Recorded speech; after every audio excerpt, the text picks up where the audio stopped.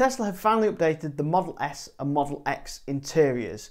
Unlike me, who still needs an update on the outside due to my lockdown haircut getting worse and worse, Tesla have redesigned the outside of the car a tiny, tiny bit, but the interior has had a full refresh. They've removed the gear selector, they've removed the indicator stalk, they've added this yoke steering wheel, which probably won't make it to the UK market. So stick around for today's video, where we'll be going into what all these new things actually mean and do, and how everything is not as it seems. Before we get into the fact it's got no indicators and it doesn't have a drive selector and the car will actually pick drive or reverse for you, let's actually look at inside what they've done to the refresh interior. Firstly, both the Model S and X now have a landscape screen similar to the Model 3 that I currently use and it was going to go this way for a very long time because that's that's the way the Model 3's gone and people do prefer that look. Now, a lot of Model S and X owners personally prefer the portraited look, and I get why that is, and it's because they saw the Model 3 with the screen poking out and they wanted it built in the dash like the S. Well, they pretty much got what they wanted, but in landscape. This is so it can play the computer games easier, and personally, I prefer the way it maps on that screen. I think it's a lot better for the mapping.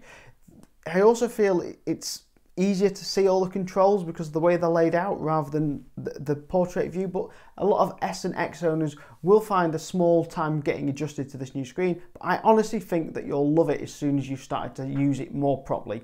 However, they still want everything to tie in with the family of the Model 3, so you can see that they have copied quite a lot of the features from the 3 to the S and the X. And the first one here is this mobile phone docking system, and the drawer, which is pretty much identical to the new Model 3 refresh that's just recently come out that I did a video on recently.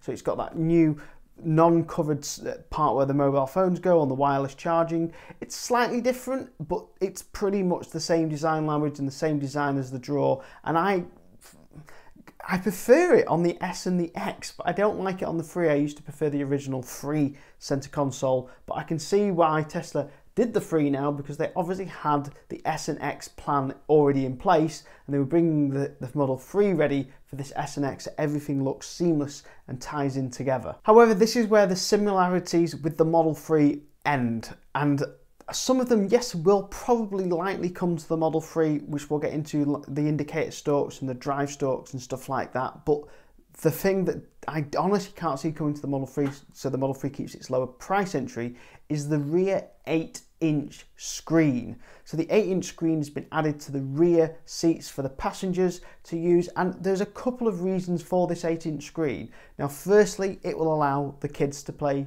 Tesla Arcade on this screen. This screen will allow the Tesla Arcade games to be played. It will also allow wireless gaming so they can actually use the wireless remotes completely wirelessly to play the games on the Tesla Arcade system. But it's got a fairly powerful computer processor in the Tesla.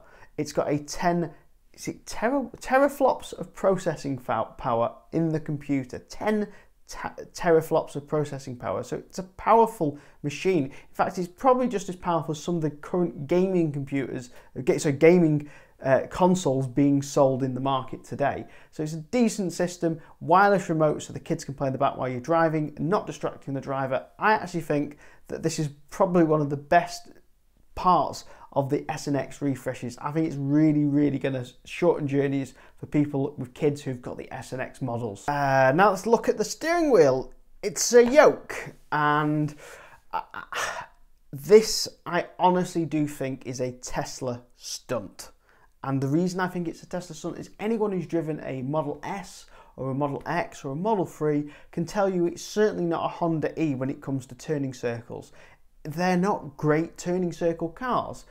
And some of my American fans will be watching this and go, oh, well, it doesn't matter too much. Yes, because in America, your car parks are larger, your roads don't have the bends that we have. But here in the UK, in the rest of Europe, those cars with that yoke steering wheel are, will be undrivable. And in fact, in the UK and Europe, that steering wheel will not legally be allowed to be fitted, which is why I luckily found this image on Tesla's website before they removed it, which is an interior shot of the Model S with a standard steering wheel on the new design. So it will be available with this normal steering wheel and I suspect it will be only sold with that all over the world. I do think that this is actually a stunt of Tesla. Now they have actually said it'll come with a yoke and the normal steering wheel will be optional but I just can't see it being sold with this car. If anyone's ever driven a car with a yoke steering wheel, they are undrivable unless you're on a racing track and only doing very, very tight turns. If you're doing three point turns or turning in car parks, it's just not practical. We don't need indicators where we're going, do we, Elon? No, we don't. Not according to Elon because he's removed the indicator stalks. And again, this is, I think, on the edge of being a Cybertruck PR stunt. I honestly do think they'll be fitted with some kind of indicator. I do think that there'll be an indicator on the steering wheel. And if you look very closely at some of the images, there does look to be some sort of two buttons on the standard steering wheel that do look like they could be indicators uh, fitted on the steering wheel rather than stalks. And I just can't see them not having indicators. Now, it will tie into the possibility of not having indicators when we get into the gear selector in a minute. But let's just have a look on why they maybe not showing any indicators and why they're saying they don't need indicators. Tesla have always, always made it very clear that their cars will be full self-driving and will not require a driver. That's the ultimate Tesla plan. Now, by removing the indicators, removing the gear selector, you are telling your customers, your shareholders, your fanboys, you're ready. You're ready now for full self-driving. You don't need the gear selector, you don't need the indicator because the car will do it because the car is going to be driving itself.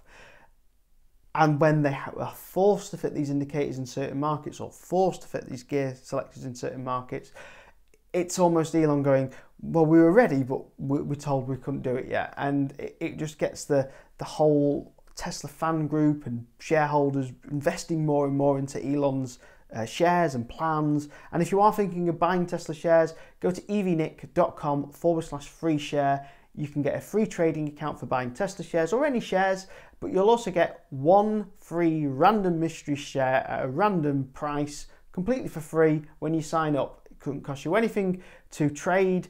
There's basically the one of the best trading websites I've used. There's a link there and all about it on my website if you go to EVNick. This for me is one of the weirdest parts, um, and that is the fact that there's no gear selector because it's best if I just show you Elon's tweet.